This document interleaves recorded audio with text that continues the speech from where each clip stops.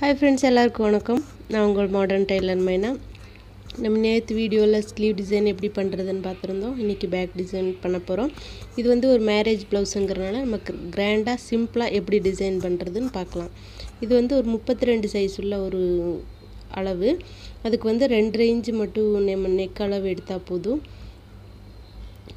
Length வந்து ஒம்பது எடுத்துக்கோங்க. அதே மாதிரி நம்ம டிசைன் பண்ண போகிற துணியிலையும் நம்ம மார்க் பண்ணி அதை வந்து கட் பண்ணி எடுத்துக்கலாம்.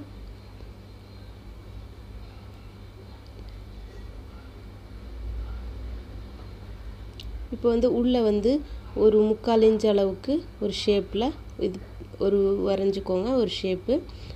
சைடில் வந்து ஒன்றரை இன்ச் அளவுக்கு சுற்றி எடுத்துக்கோங்க. இந்த நெக் லைன்லேருந்து ஒரு மூணு இன்ச்சு கீழே வர்ற மாதிரி நம்ம ஒரு மார்க் பண்ணிக்கலாம்.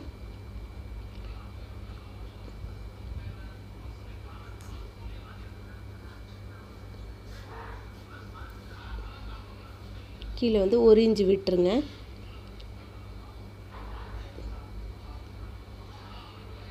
அந்த நெக் டிசைனோட அளவு வந்து நெக்லேருந்து ஒரு ரெண்டு இன்ச்சு கீழே இறங்குற மாதிரி வச்சுக்கோங்க. வந்து கட் பண்ணி எடுத்துடலாம்.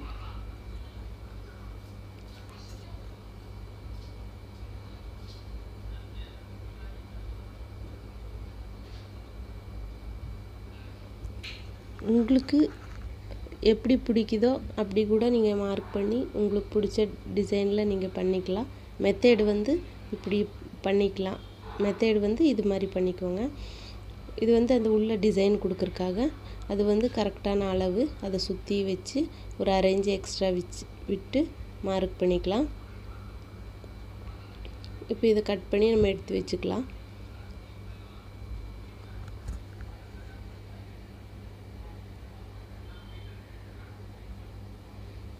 இதுதான் அந்த டிசைனுக்கு உண்டான அளவு.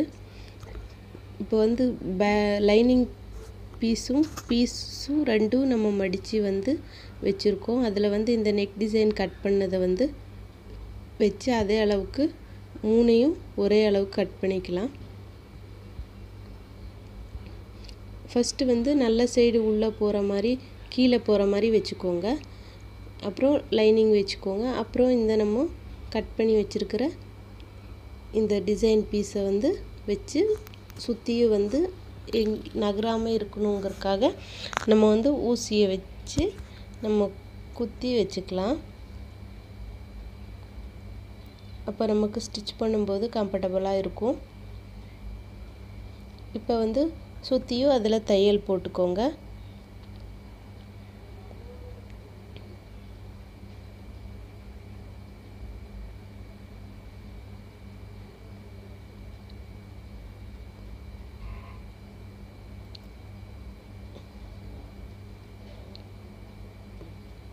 சுற்றியும் நம்ம உள்ளே எல்லாம் ஃபுல்லாக ஜக்கா போட்டு அப்புறம் நம்ம திருப்பணும். அப்போ தான் நமக்கு அந்த ரவுண்ட் ஷேப்பெல்லாம் பர்ஃபெக்டான இதில் நம்மளுக்கு கிடைக்கும்.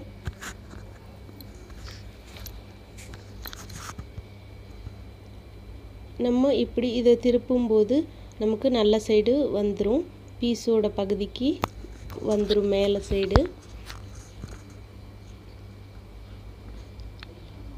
இதை வந்து நம்ம பைப்பிங் ஸ்டைல்லையும் தைக்கலாம். இந்த மாதிரி மாடர்னில் பைப்பிங் ஸ்டைல்லையும் தைக்கலாம்.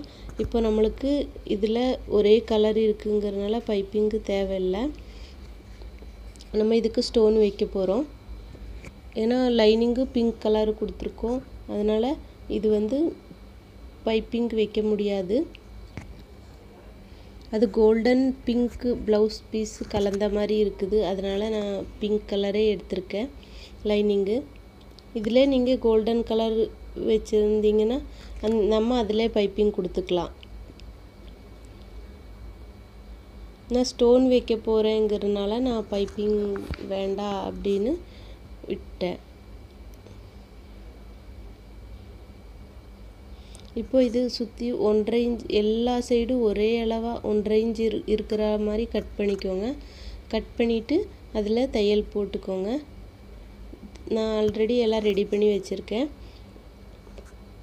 நம்ம இப்போது பீஸில் நம்ம அட்டாச் பண்ணிக்கலாம் சுற்றியும் இது தைச்சு முடிஞ்சு வரும்போது ரொம்ப கிராண்டான ஒரு பியூட்டிஃபுல்லான ஒரு ப்ளவுஸாக நம்ம பார்க்க போகிறோம் அவ்வளோ அழகாக இருக்குது. இதில் இதோட நாட்டு கூட நானே ரெடி பண்ணேன். அந்த நாட்டெல்லாம் எப்படி இருக்குதுன்னு கமெண்ட்டில் லீவ் பண்ணுங்கள் அந்த நாட்டு உங்களுக்கு எப்படி பண்ணணும் அப்படின்னு தெரியணுன்னா நீங்கள் கமெண்ட்டில் லீவ் பண்ணுங்கள் நான் கண்டிப்பாக ஒரு வீடியோ போடுறேன். என்னோடய வீடியோஸ் எல்லாம் உங்களுக்கு பிடிச்சிருந்துச்சின்னா லைக் பண்ணுங்கள் ஷேர் பண்ணுங்கள் கமெண்ட் பண்ணுங்கள் சப்ஸ்கிரைப் பண்ணுங்கள் மறக்காமல் பெல் பட்டனை கிளிக் பண்ணிடுங்க அப்போ தான் நான் போடுற வீடியோஸ் எல்லாம் உடனுக்குடனே உங்கள் நோட்டிஃபிகேஷனுக்கு வரும். ரொம்ப ஈஸியான மெத்தேடில் தான் நான் ஸ்டிச் பண்ணிகிட்ருக்கிறேன் நீங்களும் பார்த்து இந்த வீடியோவை பார்த்து நீங்களும் வீட்டில் கண்டிப்பாக ட்ரை பண்ணிவிட்டு எனக்கு வந்து சொல்லுங்கள் இன்றைக்கி தான் ஒரு ஒரு ஃப்ரெண்ட் எங் எனக்கு கமெண்ட் பண்ணியிருந்தாங்க. ஒரு அம்ப்ரலா டாப் வந்து நான் இன்றைக்கி ட்ரை பண்ண போட போகிறேன் சிஸ்டர் அப்படின்னு சொல்லி கமெண்ட் பண்ணியிருந்தாங்க. ரொம்ப சந்தோஷங்க சிஸ்டர் நீங்கள் கம் ட்ரை பண்ணிவிட்டு அது எப்படி வந்துச்சுன்னு எனக்கு கண்டிப்பாக கமெண்ட்டில் லீவ் பண்ணுங்கள் சிஸ்டர் அப்புறம் இது வந்து வச்சாச்சு. இப்போ நம்ம இதுக்கு வந்து சுற்றியும் லேஸ் வச்சுக்கலாம்.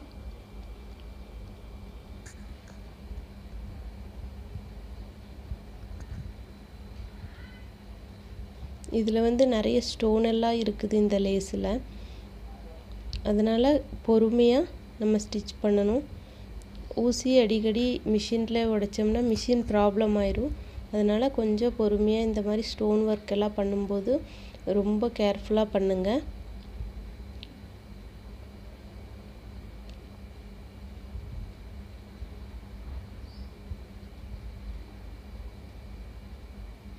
நம்ம இதுக்கு இன்னொரு தையல் கூட போட்டுக்கலாம். நிறைய கமெண்ட் பண்ணியிருந்தவங்களுக்கு எல்லாம் நான் அந்த வீடியோஸை போட்டுகிட்டே வந்துட்டுருக்கேன். நிறைய பேர் காலருது காலர் சுடி கேட்டிருந்தாங்க அதுவும் போட்டிருக்கேன் பாட் நெக் ப்ளவுஸ் கேட்டிருந்தாங்க அதுவும் போட்டிருக்கேன் உங்களுக்கு ஏதாவது வீடியோஸ் தேவைப்பட்டுச்சுன்னா கண்டிப்பாக கமெண்ட்டில் லீவ் பண்ணுவீங்கன்னு நம்புகிறேன் கண்டிப்பாக கமெண்ட்டில் லீவ் பண்ணிங்கன்னா நான் மிஸ் பண்ணாமல் உங்களுக்கு ரெஸ்பான்ஸ் பண்ணி அந்த வீடியோவை கண்டிப்பாக நான் போடுவேன். உங்களுக்கு இது இந்த மெத்தடு பிடிக்கலன்னா கூட நீங்கள் வந்து கமெண்ட் பண்ணுங்கள் நான் வேறு மெத்தடில் கூட ஸ்டிச் பண்ணுறேன் இது உங்களுக்கு புரியலன்னா கூட நீங்கள் கமெண்ட்டில் லீவ் பண்ணுங்கள் எது வேணாலும் நீங்கள் கமெண்ட்டில் லீவ் பண்ணுங்கள் அதுக்கு கண்டிப்பாக நான் ரெஸ்பான்ஸ் பண்ணுறேன் இதை நம்ம உள்ளே வச்சு வைக்கிறக்குண்டான துணியை வந்து ரெடி பண்ணி வச்சுருந்தோம். இப்போ நம்ம அதை ஸ்டிச் பண்ணிக்கலாம். அப்படியே அட்டாச் பண்ணி அது வந்து திருப்பிக்கோங்க. திருப்பி ஊ ஸ்டிப் போட்டுக்கோங்க. இதுக்கு நம்ம மேலே லேஸ் வைக்க போகிறோம் இப்போ சுற்றியும் அதுக்கு அளவுக்கு கட் பண்ணிவிட்டு ஒரு தம்மி தையல் போட்டுக்கோங்க.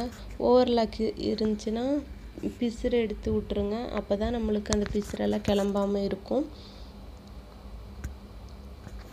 இதுக்குள்ளே நான் என்னோட ப்ளவுஸில் ஒரு கோல்டன் கலர் துணியில் நான் வந்து ஸ்டோன் எல்லாம் ஒட்டி அதுக்கு வந்து கொஞ்சம் டிசைன் எல்லாம் பண்ணி வச்சுருக்கேன் ஆல்ரெடி நம்ம இதை வச்சு அதில் அட்டாச் பண்ணிக்கலாம். இது நம்ம கொடுக்கும்போது ரொம்ப லுக்காக தெரியுது பாருங்கள் சின்ன சின்ன ஸ்டோன்ஸ் எல்லாம் நிறையா இருக்கும். நீங்கள் அது வந்து வாங்கிட்டு வந்து வீட்டிலையே நீங்கள் வந்து பொறுமையாக நிறைய டிசைன் பண்ணலாம். இப்போ வந்து நம்ம கடையில் எம்ப்ராய்டிங் பண்ண தெரியல அப்படிங்கிறவங்க ஆரி ஒர்க்கெல்லாம் இன்ட்ரெஸ்ட் இருந்தால் நீங்களே பண்ணிக்கலாம். இல்லைன்னா பெவிக்ளிக் எடுத்து நம்ம அந்த ஸ்டோன்ஸ் எல்லாம் வந்து அந்த துணியில் ஒட்டினாலே அது வந்து கிராண்ட் லுக்கிங் நமக்கு கொடுக்குது. இப்போ பாருங்கள் அது எவ்வளோ கிராண்டாக தெரியுது. நான் வந்து ஒரு சும்மா சிம்பிளாக தான் ஸ்டோன் எல்லாம் அதில் நான் அட்டாச் ஒட்டி வச்சுருக்கேன்.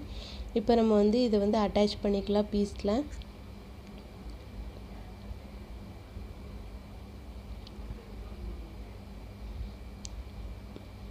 ப்ளவுஸ் ஃபினிஷிங் பண்ணி பார்க்கும்போது வேறு லெவலாக இருக்குது நீங்கள் வந்து கண்டிப்பாக இந்த ப்ளவுஸு ட்ரை பண்ணிவிட்டு கமெண்ட்டில் லீவ் பண்ணுவீங்கன்னு நம்புகிறேன் என்ன எனக்கு சப்போர்ட் பண்ணிகிட்ருக்கிற எல்லாருக்கும் ரொம்ப ரொம்ப நான் தேங்க் பண்ண விரும்புகிறேன் எவ்வளோ லுக்காக இருக்குது. இப்போ நம்ம வந்து அந்த மேலைக்கும் நம்ம வந்து அந்த லேஸை வந்து வச்சுக்கலாம்.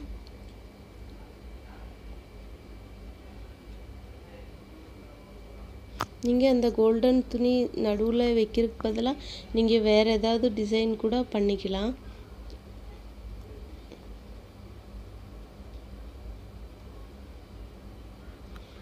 இது வந்து முப்பத்தி ரெண்டு சைஸுங்கிறனால நமக்கு வந்து நெக்கோட இது வந்து ரொம்ப இதாக இல்லை.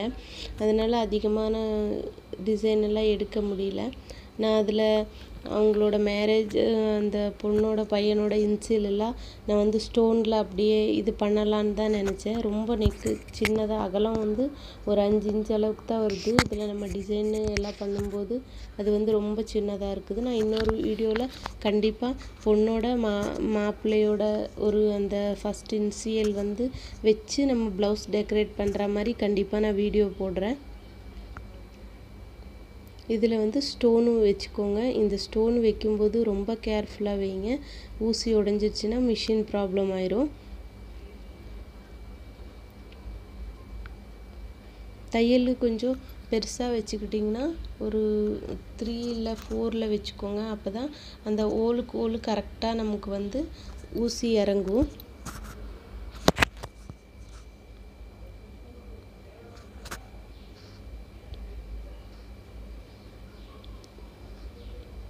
இப்போ நம்ம வந்து ஸ்டோன் வந்து வச்சாச்சு. கீழே வந்து மடிச்சு அடிச்சுக்கலாம். இதுக்கு வந்து அந்த பேக்கில் டாட் பிடிக்கிறது வந்து எந்த ப்ளவுஸ் டிசைன் பண்ணாலும் அந்த டிசைனுக்கு நீங்கள் டாட்டு பிடிக்க வேண்டாம். ஒரே ஒரு ப்ளவுஸ் ட்ரை பண்ணி பாருங்கள் டாட் பிடிக்காம அது வந்து பயங்கர லுக்காக இருக்கும். அந்த எந்த சுருக்கமும் இல்லாமல் நல்லா நீட்டாக இருக்கும். ஒரே ஒரு நீங்களும் அதே மாதிரி ஒரு ப்ளவுஸ் ட்ரை பண்ணி பாருங்கள் அவ்வளோ சூப்பராக இருக்கும்.